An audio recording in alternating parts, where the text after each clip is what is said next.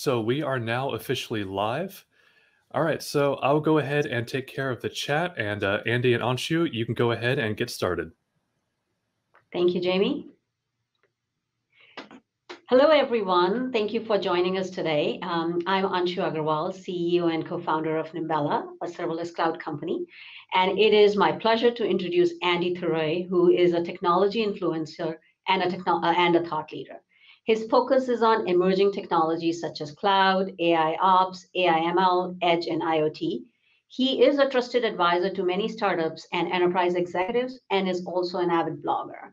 Prior to starting his own practice as field CTO, Andy was at IBM as the cloud chief strategist and at Intel as group CTO for the API group. Andy, it is great to have you here with us. Thanks for having me on. Enjoyed our previous discussions. As Anshu said, I'm Andy Thurai, founder and principal at uh, thefieldcto.com, home of unbiased emerging tech advisory services. Hopefully, I can add some thoughtful comments and value to your listeners.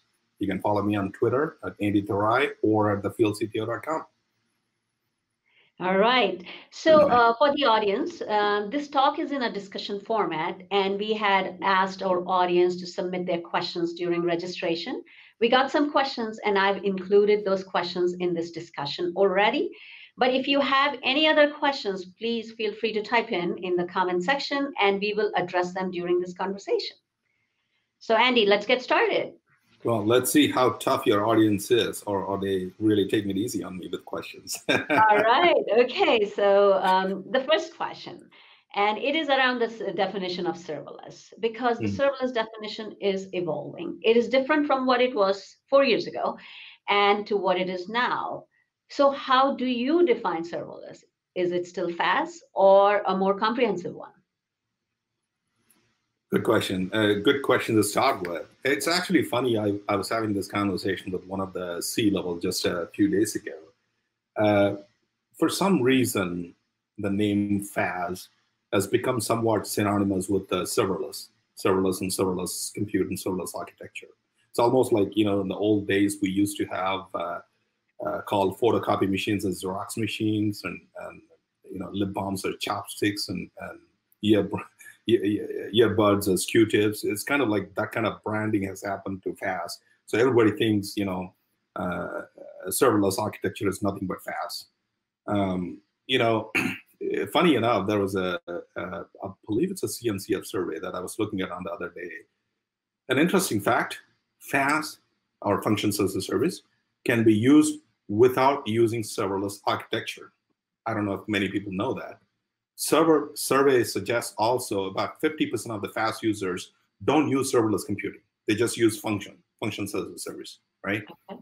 Um, so there are, there are, there are things that you know that that uh, so the whole idea of serverless came up not just recently with the with the the newer functions as a service, but again, it's been around for a while. If you go back to the the web and mobile days, um, you know, they remember they started the whole uh, backend as a service or mobile backend as a service. Yeah, mm-hmm.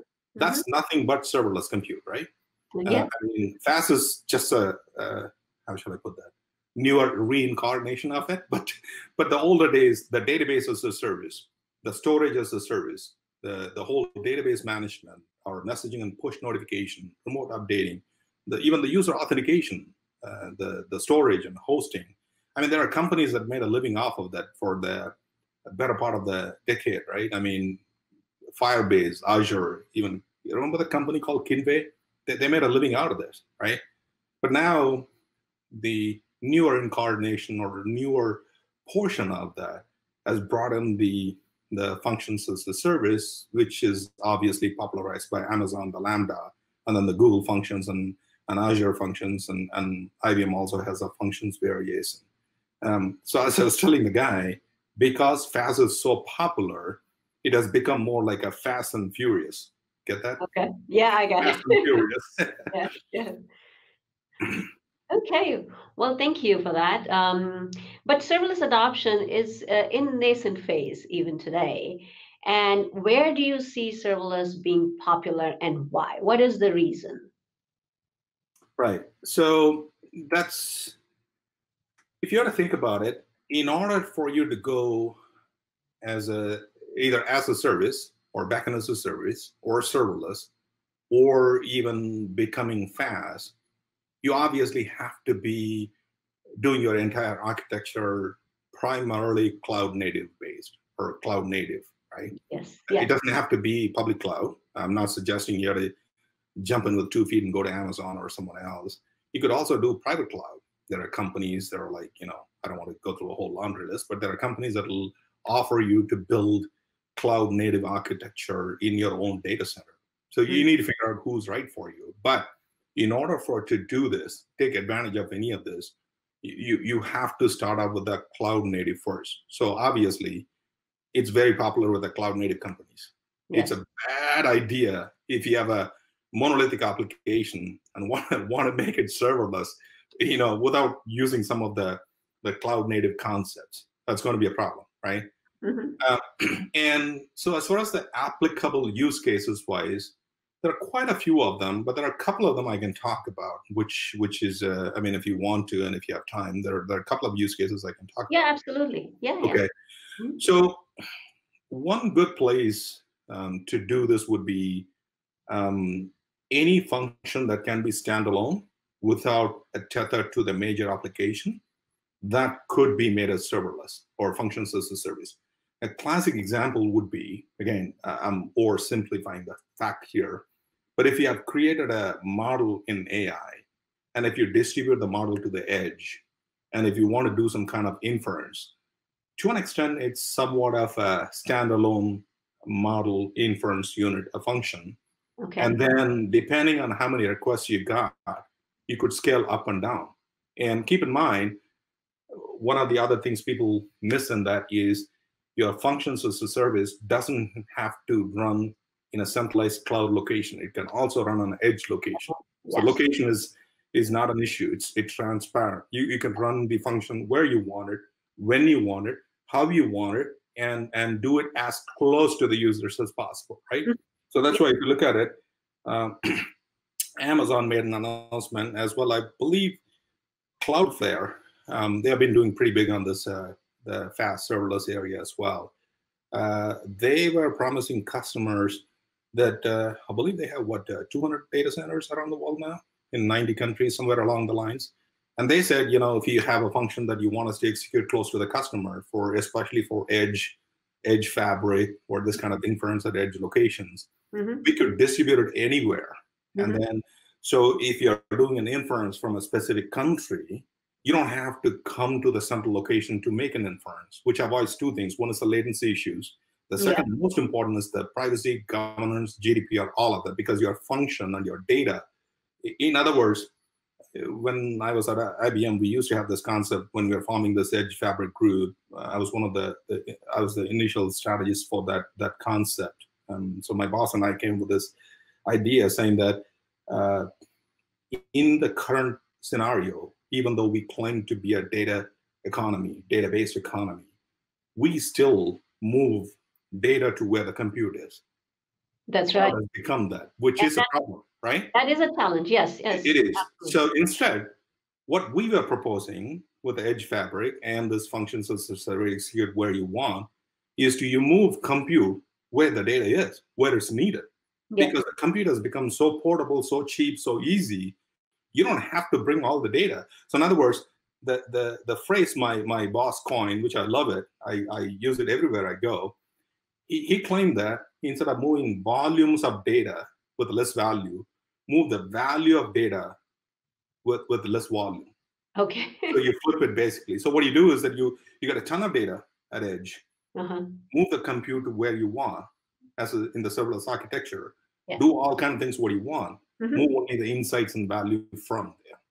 Yeah, so yeah. That that that could be a good use case. I mean, there are. I could.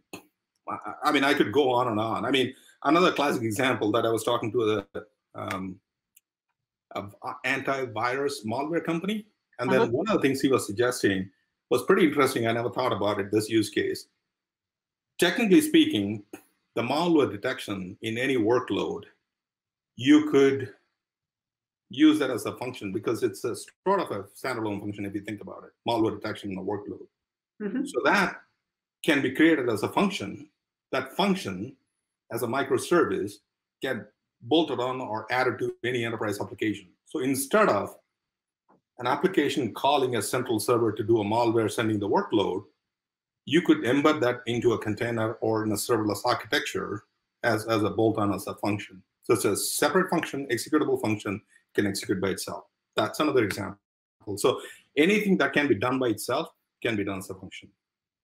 Well, that's that's that, those are great examples. And in our experience, what we've found is, as we talk to more and more developers, that popularity of serverless in its current incarnation is with companies that are developing modern cloud apps. Okay, and we are going to get to enterprise after this.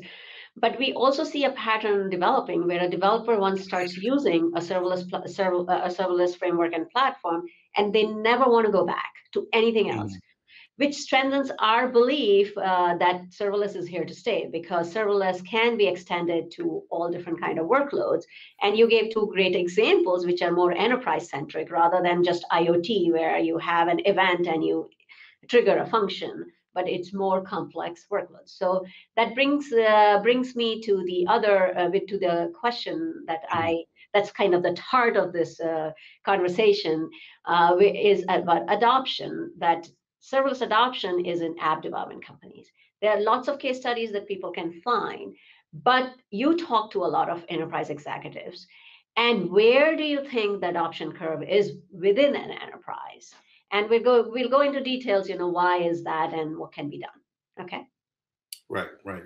Um, so so so here's the thing, right? The the developers, the the ones that are building the apps, they're already drinking the Kool-Aid. They know how easy it is. Look, if I'm a developer, the last thing, especially I'm, I'm talking about the enterprise app developers. Again, I don't want to categorize them all together. There's uh, infrastructure developers. There's you know all kind of developers everywhere. Um, I'm talking about the enterprise app developers.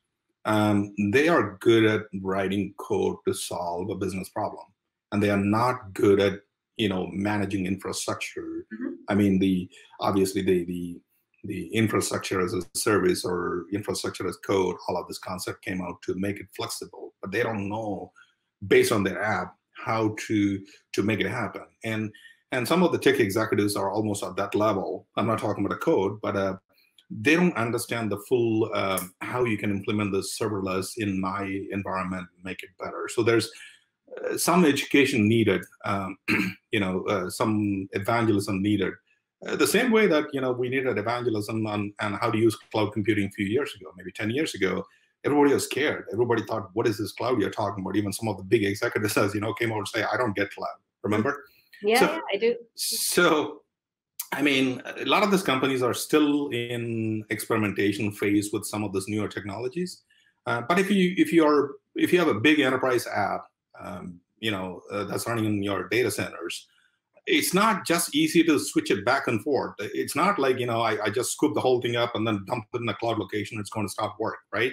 Uh, there are a lot of dependencies whether it's a database messaging middleware uh, so it's you know for a classic legacy application to to move it it's going to be a little bit difficult. So you need to build all the supporting cast and components uh, to move before you move to cloud. Or the other option is obviously, you know, you could you could, you know, if you're a cloud native company, for example, you know, companies like Uber or Airbnb or Lyft or any of those companies, yeah. when they start building everything, or even LinkedIn for that matter, when they start building everything in cloud, they use the components that's available to them in cloud.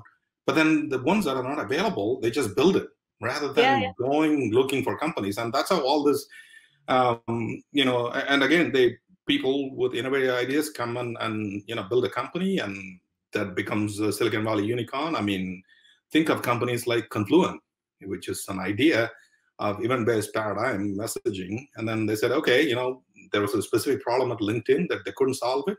They solved it. Three engineers solved the problem by building that, and then they came out and, and started a whole company out of that. So, you know, if you're cloud native, there are other options. Not only that you can use existing components, but you could build things easy.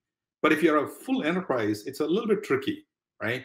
Um, so the other angle is that you know when when you explain to the when when you tell them you got to go completely cloud native or move to cloud, when when they are a little skeptical about using this technologies, particularly serverless and others, you show them the TCO and ROI when they look at it, immediately they'll start explore. When you say things like, you know what, how much money are you sending on server servers or, or managing a data center or, or managing infrastructure or managing any of these things?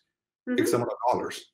And you're building new set of enterprise applications. What if I can do it at a fraction of a cost, 10%, 20%? When they look at it, obviously, you know, it- you can't just pass pass up. You'll have to explore that, whether you adopt it or not, right? Yeah. Yeah, yeah, absolutely. You're absolutely right.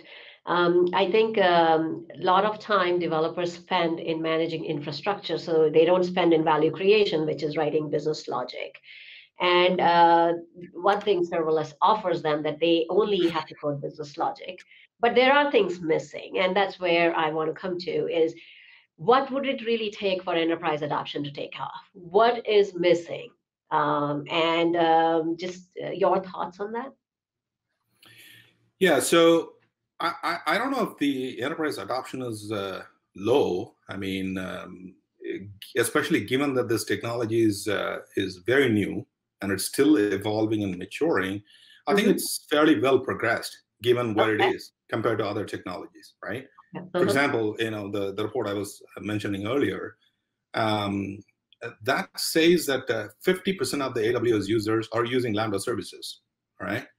And the Lambda services usage and serverless and functions as a service is growing at a 75% annual growth. So if you think about those numbers, it's progressing really fast con- compared to other technologies, right?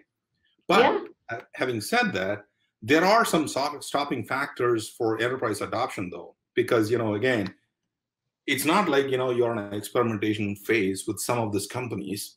For example, if I um, I don't want to pick on anybody and say names and, and upset people, but but I have a bunch of um, pages that has only reviews, and if somebody clicks on it, the review doesn't load. Actually, matter of fact, I was checking a website this morning for something. I forget what it is. Uh, after multiple clicks, it wouldn't load. It just was sitting there doing nothing. And then I said, fine, I just give up. I'll come back later. But if you're an enterprise app, you're trying to process something in a supply chain or, or you know, or HR system or, or benefit system or financial system, that's not an acceptable answer because my web server or cloud or, or function didn't work.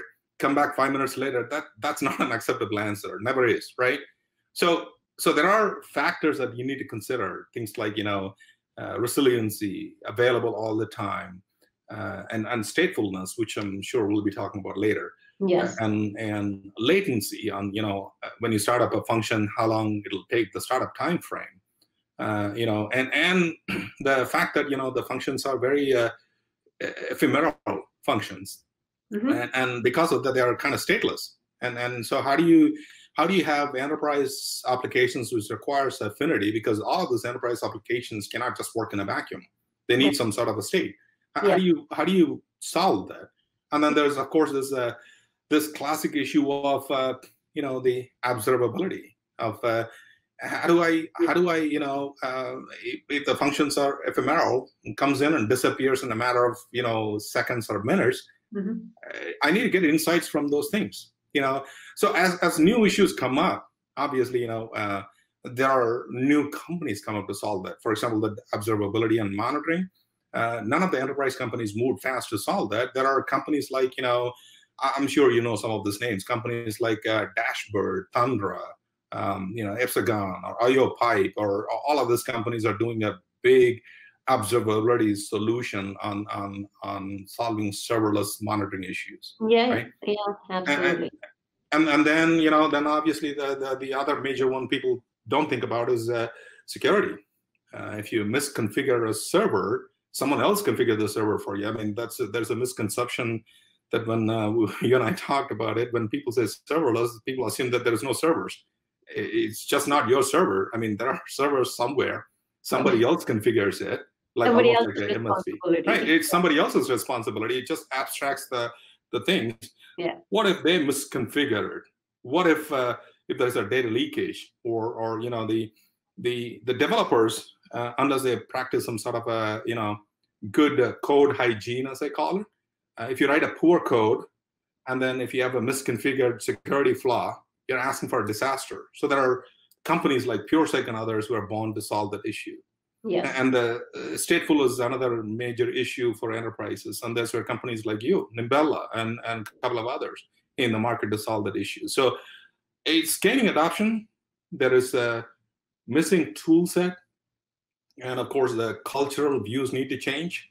Uh, but it's growing fast. But on that note, there are companies decided to go on board 100%. I was reading a case uh, study on the other day Netflix uses uh, uh, Lambda functions as a service. Unbelievable.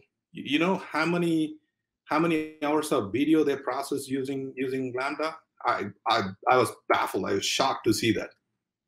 They process seven billion hours of video using Lambda functions, or at least that's what I saw in the report. That's wow. like if you had to use a regular server app function to do that, cost wise, imagine how it, expensive it'll be. Yeah. So your your monthly rate will be 99 bucks per month, not seven bucks a month. I don't even know what they charge now, but yeah, companies like Net, Netflix have mastered the cost equation, and we'll talk about it uh, because you you did a wonderful blog on the cost thing, so we'll come to that. Um, just wanted to uh, actually um, just briefly talk about you know when my founders and I started Nimbella, we started with the premise uh, that serverless platforms have to support enterprise. For this to be really successful, they have to support enterprise workloads. And for that, there was an important capability that was missing, and that was support for stateful workloads. The platforms that are provided by big cloud vendors are meant for stateless workloads. That doesn't mean nobody can develop stateful work, uh, stateful applications, but it becomes a developer uh, responsibility. So it's not the entire serverless story that can be used there. Um, but that that was one of the main reasons why we got started. So can we elaborate a little bit more about the statefulness? Uh, why is statefulness so important for enterprise? And uh, why should anyone use it? Are there any benefits of using server? This was uh, this was an important question um, from an audience from the audience that had come in during registration. Is like anyone why should anyone use serverless for stateful apps? I mean are we using technology for the sake of technology or is there a benefit to use serverless for stateful apps?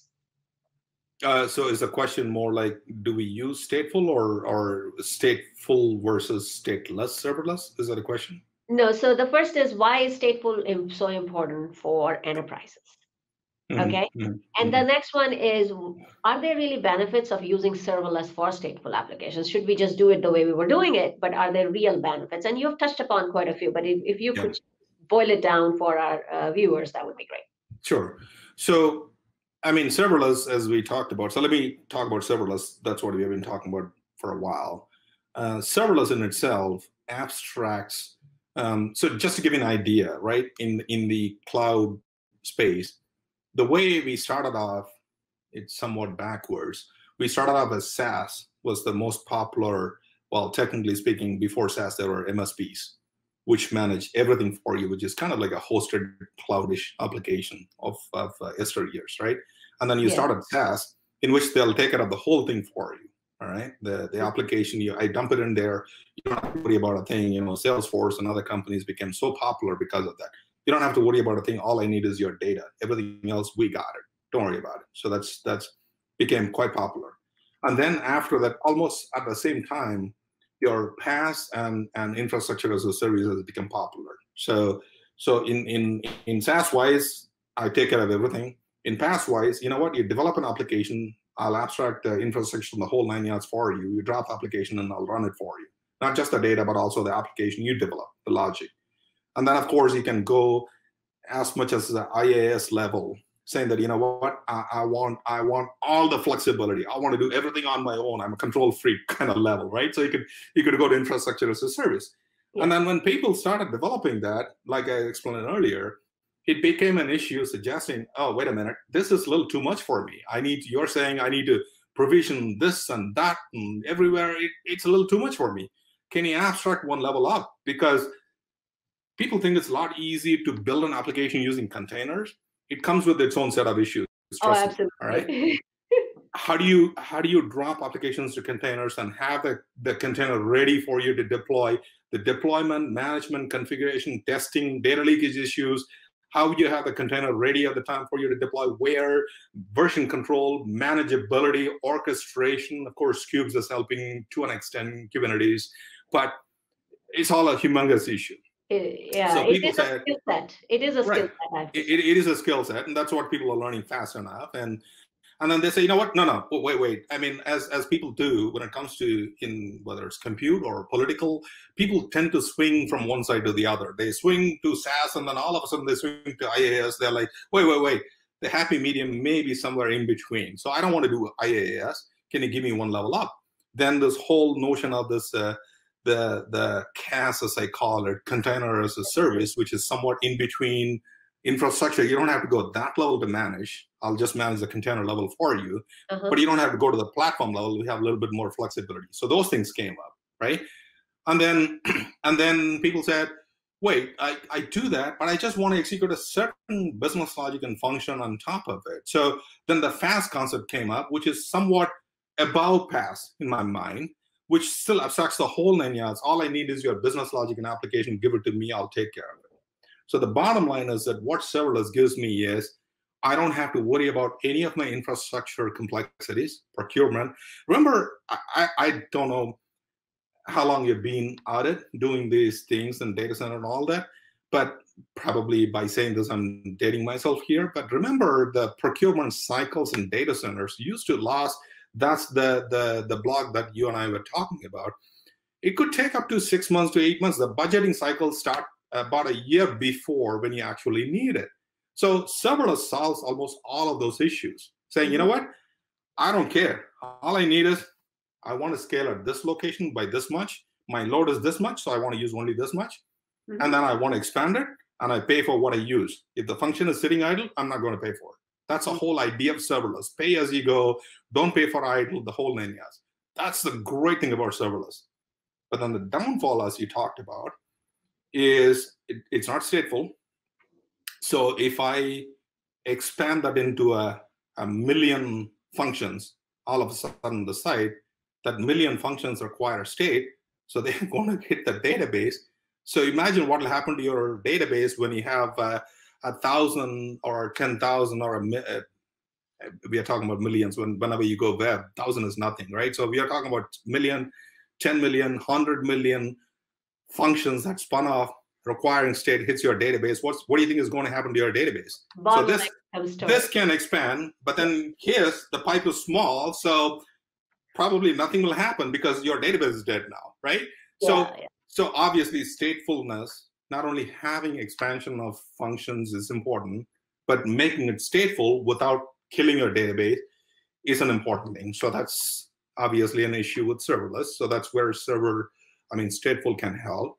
Mm-hmm. And the related issue is, I mentioned this earlier on, you pay only for what you use, mm-hmm. which means if I use a function and I let it sit idle, I'm not paying for it, and it's only fair that uh, I I call that a cloud provider's server eviction notice or, evict your functions. If it is not used, I believe AWS used to have a limit of five minutes. If my function is not used in five minutes, it's going to evict your function. And the mm-hmm. next time when you require to use that, you have to ask them to restart it, which means which is the, basically the cold start, which means there is an overhead involved mm-hmm. in dropping the code and having it ready. So yeah. there are platforms and and and best practices to make sure how you keep your um, you know function warm and ready rather than you know doing a cold start maybe you know do some synthetic function in between. Mm-hmm. there are other things you could do. So yes. you know so there are issues. I mean stateful is not i mean serverless is not necessarily a miracle solve at all. It has its own issues. So mm-hmm. as long as you're able to solve that you got to get the best of both. Pay as you go expand crazy you know do millions of transactions pay small amount but then combine this with the enterprise characteristics combining both, yes. then probably you have a good solution in your hands. I know that's a lot. Sorry. no, it, it certainly is. There are there are challenges with the current serverless, and that and that's what I was mentioning that we we got started because there were these challenges. And one of the challenges that you mentioned is there's so many developer tools that you have to assemble. Mm-hmm like mm-hmm. whether it's monitoring, tracing, debugging. So everything becomes developer responsibility. So now you are jumping from using uh, from what you thought that you'd only code logic and now you're trying you're not only assembling but you're also managing state because as you said that compute will expand okay it will scale up and scale down but your storage becomes your responsibility so it is really important to have the locality of compute and storage together uh, because we run into that latency issue which is more uh, more difficult in the cases of enterprise workloads Okay. Yeah, well, then then there's also a related problem of saying that okay, I I figured out how to solve all of these issues, and I build this entire thing in one cloud provider platform. Uh-huh. And then some of it is FUD, some of it is real. People come and say that, well, you're locked in. Are you not worried about being locked in? Are you not going to move to Google? Oh, okay. Then you have to start another wild goose chase saying that, okay, no. And the C level will come and say, oh, I got to have both run in Amazon and, and, Azure and Google at the same time. Give me a multi-cloud and or hybrid cloud with my private cloud environment. I need to have that. And and the first question I ask them when they say that is, what exactly is the need? How often are you going to look to move your workloads between Azure and Amazon? Right? They're like almost never. Then why do you need multi-cloud? I mean, I'm not saying that nobody needs it. I'm not saying that you don't need it. it. It depends on what your scenario and situation is. If you're going to be, and this is a classic example, if you're going to be building a stateless servers, it doesn't come out in a vacuum. You got to use other things, like you, you, might have to use Kinesis, you might have to use uh, storage. That's all tethered to Amazon's other services. Mm-hmm. So if you just worry about building a serverless, what about the equivalent functions? Does the other cloud provider offer that? How hmm. are we going to port between that? So if you want to truly build a cloud native in both clouds, you know how much of a time and energy you're spending both. I'm not saying you shouldn't, but you need to be aware of that before you start into that engagement. And after hmm. knowing that, yes, I know all of that, I understand all of that, I still need that. Fine, that's your choice right? Yeah, yeah, yeah, absolutely. I mean, uh, the thing is, anytime you build for a certain cloud, you are tied into a cloud vendor API system, okay? And that's why you need to choose a solution which will actually take you across clouds. So you're abstracting the cloud vendor specific APIs. You're still using the physical aspects of these clouds. These clouds are battle tested. I mean, you would want your infrastructure, you, you would want your application running on the physical infrastructure in the cloud, but what stack you want to run in each one of them so you get the benefit, that's important. Okay. All right, um, you touched upon containers, and uh, mm-hmm. container adoption actually has taken off. Okay, and uh, I want to discuss on where serverless falls with container adoptions. And containers, as we know, is mainly driven with the success of Kubernetes and has taken a large market share. How do you see serverless fitting into this trend of container adoption? Or is just so, a natural progression? right, right. Uh, yeah, it's kind of a natural progression, or I what I what I call it as a evolution, right? Okay. Um, so if you think about it, um, so what about uh, 50, 60 years ago, um, mainframe was predominant, and then the smaller and mid-range servers came and replaced them. Mm-hmm. And then the the virtual machines, VMs came and replaced them to to timeshare that. And then which got replaced by containers, you know, the the Docker containers. It's a lot of work, but you know, I mean, if you ask anyone who's building a containerized app, they'll tell you orchestration, security, governance, deployment management, even destruction of, you know, how do you destroy your containers that's not being used? Mm-hmm. Too many issues. Yeah. yeah and we're all fully 100% on board with that you know um, so that's one set of issues. But then that's why people a lot of obviously you know the as i say necessity is the mother of invention. So a lot of people saw including startups including cloud providers saw that you know hey everybody seemed to be struggling with that. Maybe there's an easy way to solve. And that's where this whole serverless and stateful serverless notion came up. You know what don't worry about any of that. Just just give me an app code, and I will execute it for you when you need it, how we need it, where it's needed, right? And and disappears. I, you pay only for the small time that you're going to use. What's better than that? So it, it's an evolution. It is going to come, but I'm not saying that you know that's going to replace the whole nine yards. I mean, at the end of the day, we still have mainframes. We still have COBOL applications running, right? Mm-hmm. So they all have their time and place, uh, and and this is uh, really given what what it gives you the flexibility particularly with the with a combination of uh, agile development developing everything as a microservices and functions and pay as go run as you need it's a combination of things that's that's changing the marketplace. So yeah I, I see a ton of enterprises getting into this even though they are careful and slow especially with the, some of the issues you said uh, security vendor lock-in. Uh, they are worried because they want to do it right which is always the case with enterprise uh, whether do i want to be the first or do i want to be right so it's tough choice tough choice All right. do, do you see a world where serverless plus containers will meet the needs of all customers, or since we still have mainframes, it may not be? I was I was going to I was going to ask you the question. I mean, I could say it potentially, but but can you tell me the day in which uh, mainframes and COBOL ceased to exist? Remember when it was it? 20 years ago, year 2000 was a major issue. The world is going to end because of COBOL programs. What happened? Everything is solved. We are still, you know, fine and dandy. So it never went away. So something else new come up. I mean, now we are in a, in a event-based paradigm, messaging-based, uh, and and stateless. Execute when an event happens, kind of a paradigm. That's the new paradigm now. And and for the database economy, because we are not in a compute-based mode. I mean, compute-based mode required heavy iron. Uh-huh. But now we are a database economy, so we need the compute power however small or big it is, where the data is. So, so when you combine the database economy with the statefulness and the event-driven paradigm, I guess that would solve some of the the things what the enterprise are looking for to do now. But I, I, I unfortunately don't have this magic wand or, or you know the the what do they call the globe glass globe to look into the future. I wish okay. I could. Well, um, see, nobody should adopt a technology because it's a trend. Okay, it's a wrong reason to adopt. And uh, but I I firmly believe because I I am in I, we started a serverless cloud company, so I believe I firmly uh, believe that there are real benefits that an enterprise can derive from this computing paradigm. Mm-hmm. And you you talked a, a whole bunch about it but what is you I, am assuming you also believe that there are lots of benefits for this.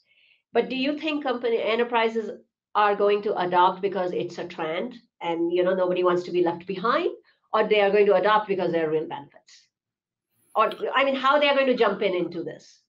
It's funny you ask the question because when I go to customers um, to advise them, the first question I ask them is exactly that.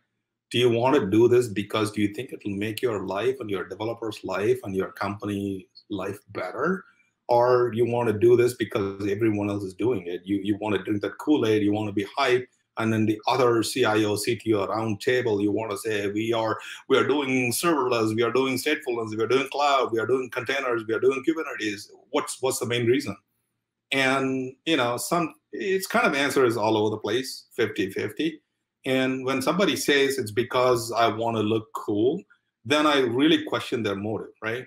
Uh, like I said, you shouldn't because it's it's a technology trend or a hype or or or even just for cost savings alone uh, mm-hmm. that you should start building something because if you build it for cost savings alone, if the technology changes tomorrow, if something better comes up, what are you going to do, right? Yeah.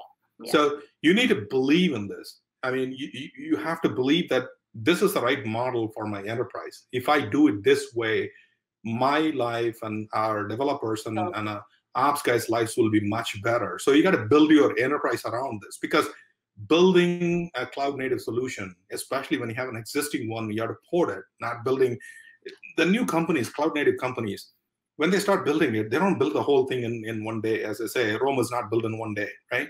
They build pieces of it, and then when they need more things, they slap things on it. But if you're an enterprise, you already have an existing application, mm-hmm. a humongous monolithic application which does something so when you move to cloud, your your customers will expect you to at least be at a minimum of what you're already providing. Beat that, right? So if you do the cloud computing or serverless and the whole nine yards, the whole delivery model shifts. For example, you know, you'll have to you will have an architecture, a development, and a release model that'll use a newer set of technologies. And, and you got to make sure that it all fits within your your organization and culture just don't just throw in a bunch of technologies because you want to look cool. You know, have a plan, have a strategy, make sure it fits your culture that you want to become that culture. Otherwise, you'll be like, as I say, you'll be riding two horses. You, you have no idea which one to take, and then you'll fail miserably in both. Mm-hmm. You know? Yeah, yeah, mm-hmm. absolutely. All right. Um, so, uh, Andy, there was a blog you wrote maybe a couple of weeks ago on enterprise application cost modeling and budgeting using serverless computing. Could you give our viewers some insights on your findings and uh, what would you caution about it to our viewers? Okay. It's funny. So um, that's actually the you're talking about the one that I wrote on New Stack, right? The, the controlling the application uh, cost infrastructure. So, so um, it's actually came as an offshoot of a uh, conversation I was having. So I was going to write a piece on that, and I was having a discussion with this C-level executive. And then when we were talking about it, and then it just thought came to me saying that you know what what are what are people using serverless for? They are just using it to set uh, saying things like you know i want to scale my architecture. I want to pay as you go blah the whole nine yards. But a hidden aspect that everybody forgets is that you could use this to set your upper bounds for your application. I mean cloud computing is known for that but this can even take it to the next level at a granular level suggesting you know what I could pick application by application. Let's say my benefits application. During the benefit enrollment period, there is no upper bounds. You can use all at once. You can mm-hmm. expand all at once, use as much compute power. That mm-hmm. need to be alive, alive yeah. for mm-hmm. people to use it. That's my number one goal.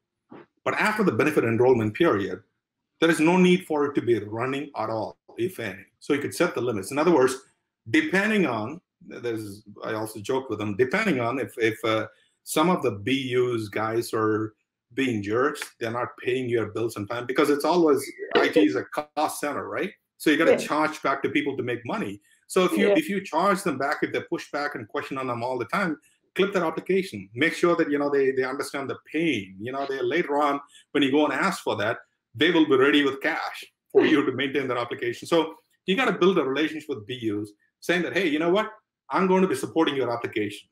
I need this much money to support your application to run the level you want. They say, no, no, I can give you only half of what you're asking for. Then I'm going to set the limit as half. If it exceeds more than that, it's going to slow it down. And when they come, they ask you questions. So basically, there are ways to control application costs in a granular level using state stateless or, or serverless architecture is what I'm trying to say, which is nobody thinks about it, but yeah. it's actually an added bonus and benefit. That's yeah. hence I wrote that article. Absolutely, especially with the warring tribes within a large enterprise. Absolutely. All right. Um, so um, the serverless platforms that are provided by big cloud vendors, and we have talked about them, uh, they are all proprietary. So there is a vendor mm-hmm. lock-in, lock-in which you trust, uh, which you talked about. What are your thoughts on open source platforms, and do enterprise care about open source? Yeah. So um, really? There's a vendor lock-in? I didn't notice it before. I'm just so i mean the vendor lock-in can come in many ways right? I mean you know obviously the api lock-in is one of the ones and how you call them. Could be a major issue. So obviously you got to use something to abstract our api calls. Um, and you know the the when you execute functions particularly serverless functions or functions as a service um, you know, what are the cloud provider services that is tightly coupled with? For example, if you're using a serverless function and it is connected to Kinesis or or Amazon storage, as I mentioned earlier, then you're tied to that vendor anyway. So you can't just take the function and execute it somewhere else, right? Uh, obviously, Lambda uses Kinesis, but not Kafka. So if you want to use Kafka, is Lambda is your right choice, right? Uh, it's not just those two, right? I mean, the lock-in can happen at multiple levels. Could happen at a database level. Could happen at the middleware. Could happen at the messaging. Could happen at the streaming. Could happen even at the programming language if some of the providers don't do it, right? So there are a couple of ways you could avoid it from what I've seen. Again, this is my two cents. Mm-hmm. Um, there are frameworks you could use uh, to instead of you know going to the serverless execution directly on the cloud providers you could use uh, frameworks such as uh, serverless.com framework is, is a fine one. Uh, it'll allow you to distribute the workloads and or you know execute the functions across the cloud provider platforms. Or they uh, use Nimbella. I'm sorry. Yeah, or, or, use Nimbella. I'm sorry. yeah, that's a that's a, you know so to to abstract a layer. I was getting to it, but you jumped it.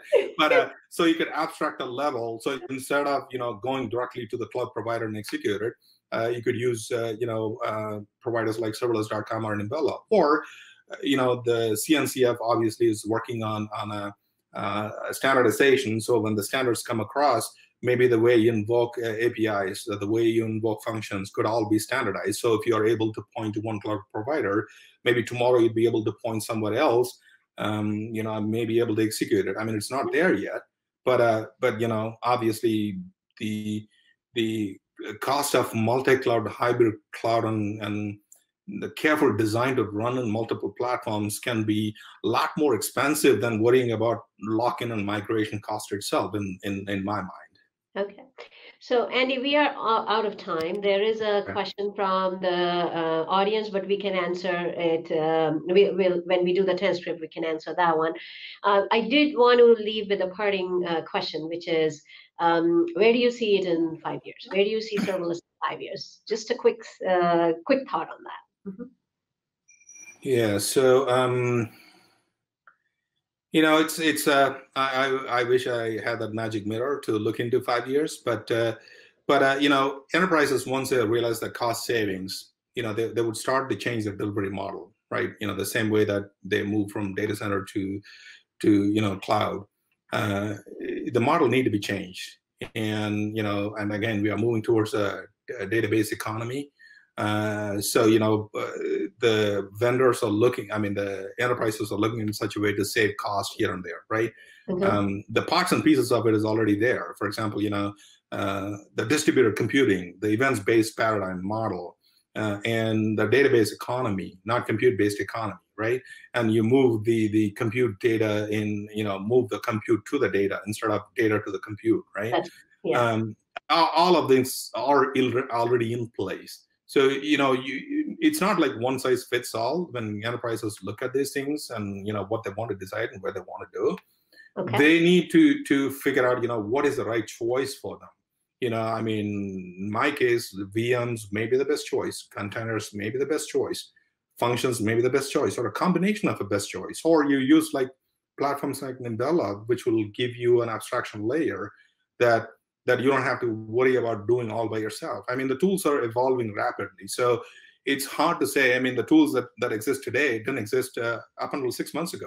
And yeah. particularly the, the remote work and work from home concept has, has, has brought in a new set of quirks that people are, you know, trying to solve. So uh, it's impossible to predict where we'll be five years from now or even one year from now.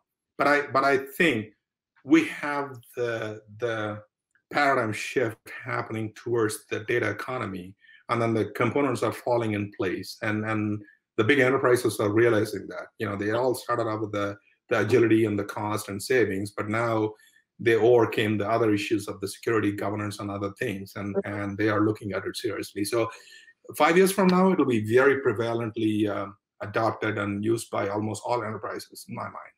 Well well, thank you, Andy, for uh, wonderful insights. Uh, we have a couple of questions that we couldn't answer, but we can we'll answer it offline.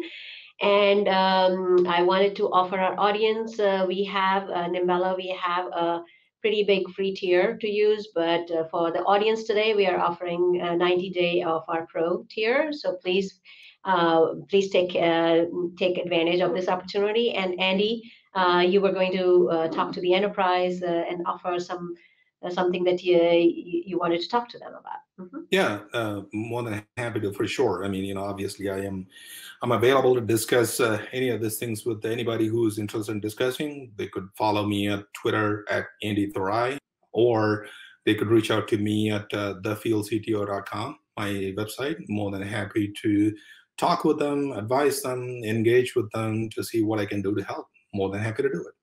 Well, thank you, Andy, and thanks to our audience today. Uh, really enjoyed talking to you. Awesome. Good talking to you. Take care. Bye bye.